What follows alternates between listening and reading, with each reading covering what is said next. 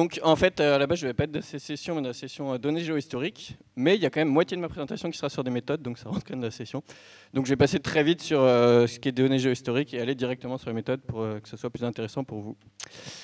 donc le projet Studico, pour ceux qui ne connaissent pas, c'est un projet mené par Julien Perret en, collaboration avec le HESS et PITA et tout ça. Et le but, c'est de numériser des cartes et des annuaires, de faire de la reconnaissance caractère et tout ça, et de recréer en fait des données sur le temps très long. Euh, du début de la fin du 18e euh, jusqu'en 1950, euh, et étudier en fait une dynamique socio-économique dans Paris à partir de ces données des archives. Et donc il y a aussi la BNF qui est, enfin, voilà. donc voilà, il y a plein de work packages. Donc d'abord trouver les sources, c'est un gros travail des partenaires des archives. extraire les données, là il y a eu deux ou trois thèses là-dessus, qui, qui, a une qui vient d'être soutenue de, de enfin voilà, donc il y a beaucoup de et Solène aussi elle est en thèse là-dessus en ce moment. Euh, ensuite, j'ai recodé tout ça, c'est aussi un gros boulot. Et il y a un dernier package sur lequel euh, moi je, travaille un peu, qui est essayer d'utiliser ces données pour étudier la, coévolution urbaine. Euh, voilà, donc je ne rentre pas dans le détail des, des work packages, vous pouvez parler avec Julien pour savoir tout ça. ça, j'ai juste mis parce que oui, j'avais fait cette présentation à, une conférence internationale et je trouvais ça trop cool, le truc de Fernica, donc je l'avais mis. donc ça, vous avez dû le voir l'année dernière, je viens de la recherche, ça en avait parlé, je crois. Donc je ne parle pas. Euh, voilà donc un exemple de, c'est la thèse de, de sur euh, vectorisation des cartes, euh, comment reconstruire à partir des images ces données en fait vectorielles qu'on pourra utiliser pour étudier par exemple l'évolution de, la forme urbaine ou des réseaux de rues dans le temps. donc là voilà le cas plus particulier de cette étude que je présente sur la coévolution. en fait le contexte c'est un peu que comprendre les dynamiques passées sur le temps long euh, urbaines, euh, ça peut être utile pour avoir des meilleures théories géographiques euh, des villes, éventuellement voir plus loin et pour le développement durable. donc là, le, but de ce travail, c'était bien de quantifier la coévolution. Je détaillerai plus tard ce que, j'appelle par, ce que je veux dire par coévolution. alors, il y, a beaucoup de littérature et beaucoup de géographes qui, sont déjà intéressés à, ces questions de recréer des bases de données géohistoriques. Euh, notamment, il y avait un projet euh, mené par Lena Sanders euh, à Géocité, un projet NR appelé Transmondine, où très interdisciplinaire, archéologue, géographe et tout ça. il y a aussi beaucoup de travail, donc l'ERC de Denis Pumin, en, lien avec OpenMall que, j'ai mentionné ce matin, sur construire des modèles stylisés pour les systèmes de ville. et dans tous les cas, en général, dans la plupart des, des, projets qui, qui, font des trucs un peu pareils, euh, il y a toujours une difficulté en fait de construire ces bases de données géohistoriques et c'est pour ça que Soduco est, très innovant là-dessus et en fait se base sur le projet euh, Geohistorical Data, c'est les, héritiers directs. Euh, il y a, d'autres trucs, par exemple Claire Lagesse et là c'est sa doctorante Anna Elgouge, ils font aussi de la vectorisation à TMA à, Besançon. donc pareil, je vais passer très vite sur l'extraction et la construction des données parce que c'est pas le, cœur du sujet.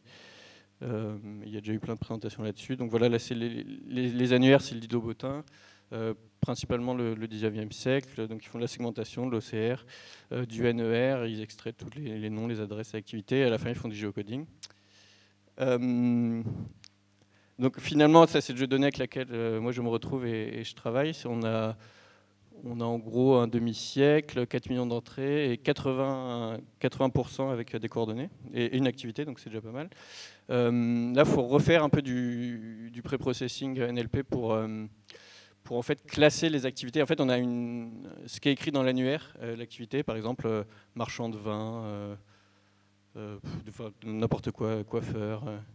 Et du coup, des fois, c'est mal écrit, il y a plusieurs, plusieurs façons de l'écrire, épicier, machin. Du coup, là, il faut un peu du stemming, des trucs comme ça.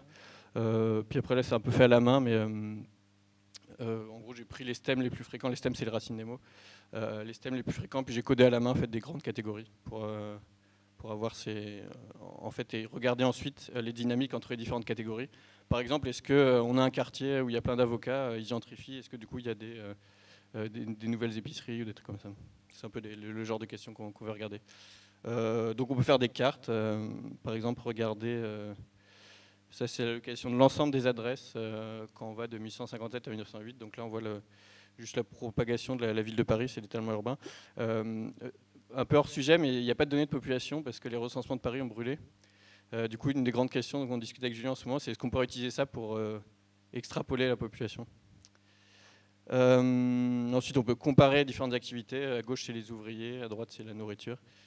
Donc ensuite, pour la nourriture, c'est les, épiceries, des trucs comme ça. ensuite, pour, dire des trucs intéressants, il faut demander aux historiens. Je sais qu'il y a, Stéphane qui est dans le projet, il, pourrait vous raconter des trucs fabuleux sur les fabriques de gantiers, euh, comment ils se positionnent et tout ça. Euh, donc ensuite, euh, moi j'utilise ces données, j'essaie de faire des, statistiques dessus pour détecter une coévolution éventuellement. juste brièvement, qu'est-ce que j'appelle coévolution? Donc ça c'est issu de ma thèse. Dans ma thèse, j'ai essayé de définir la coévolution entre les villes et les territoires. Enfin, les, les, donc les villes comme les territoires et les réseaux de transport. Euh, l'idée, c'est d'avoir une approche euh, multiniveau. Euh, donc on peut être vraiment au niveau micro et avoir des agents qui s'influencent entre, eux.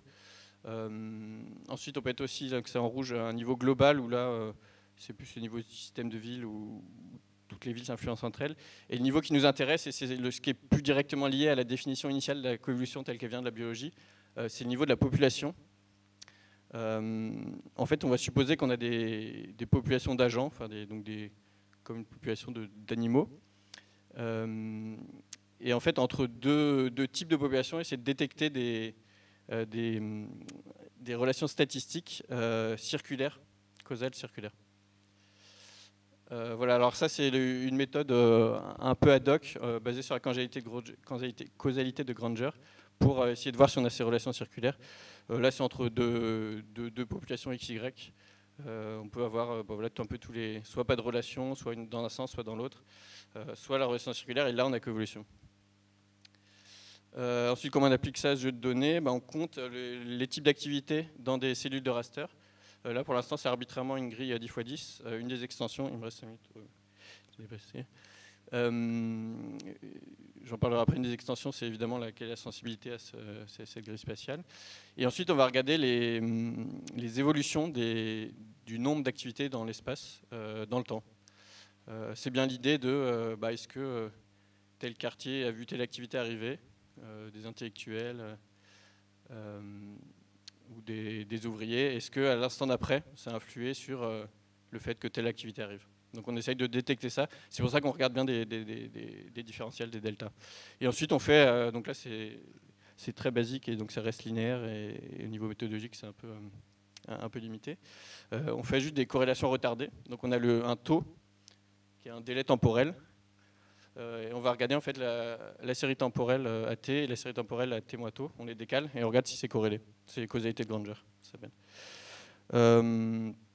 Et donc là, c'est un exemple de, matrice, euh, corrélée où on a optimisé pour l'ensemble des taux, on a, cherché le, on a fait un test, on a cherché le taux optimal. Euh, et par exemple, là, on voit que l'art est anticorrélé avec pas mal d'autres activités, euh, tandis que la plupart de cas bleu, c'est quand même assez corrélé. Donc il y a aussi un. Là, il y a des problèmes de biais, de, trucs de fond qu'il faudrait retirer, de tendances de fond qu'il faudrait retirer. et ça, c'est les taux qui correspondent. Euh, exemple, bah, l'art, c'était euh, à peu près 7 ans le, taux optimal euh, quand c'est négatif. voilà, donc ça nous donne, dans certains cas, alors, je ne sais plus si on a un couple. oui, bah oui, par exemple, là, on a un couple d'activités où on a bien une corrélation dans les deux sens. Donc là, on a qu'évolution pour ces deux-là, entre l'art et les services.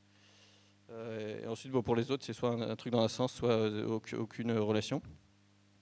Euh, donc là, c'est très exploratoire et il y aura tout un travail de discuter avec des historiens. Est-ce que ça veut dire quelque chose ou est-ce que c'est euh, soit du bruit, soit des trucs spurieux qu'on capture ça.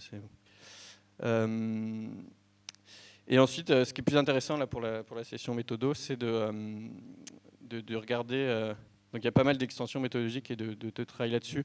déjà tout ce qui est analyse de sensibilité à la classification, aux métaparamètres et au, par exemple à la grille spatiale. Euh, et ensuite, la question de, justement du, spatio-temporel, là on avait le, taux, mais après on peut estimer sur des fenêtres, et aussi changer la, fenêtre spatiale. Donc là, il y a, eu du travail peut-être en lien avec GWR pour faire ça. Euh, et enfin, là, s'il y a des gens qui ont, des idées, on a, on a discuté avec Alexandre euh, Hyper Ferrer là-dessus, sur comment mesurer la causalité, mesurer la coévolution. Il y a plein de, méthodes et de différentes approches sur les disciplines pour mesurer ces trucs-là. en économie, ils font beaucoup de variables instrumentales. je sais qu'il y a beaucoup de méthodes en, machine learning qui font du causal aussi. ou alors des trucs transfert entropie. Donc là, il faudrait essayer un peu tout ça. voilà, pour conclure, c'est des nouvelles données et des méthodes intéressantes. Tout est open sur GitHub. Merci.